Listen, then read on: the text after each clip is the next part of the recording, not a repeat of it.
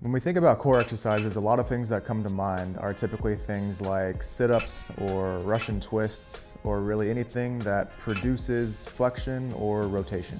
This is great, but one of the best ways to actually improve your core strength is to actually resist rotation, which means basically be still while something's trying to move you.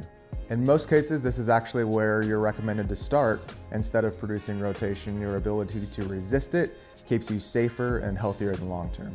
The simplest exercise that expresses this clearly is what's called a Pallof press.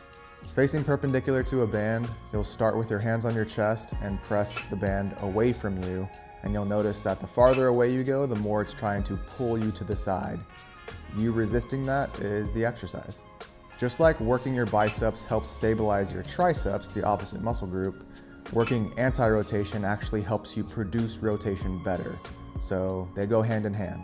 Other examples of anti-rotation or resisting rotation exercises are things like plank variations, landmine variations, as well as a good old-fashioned single arm farmer's carry.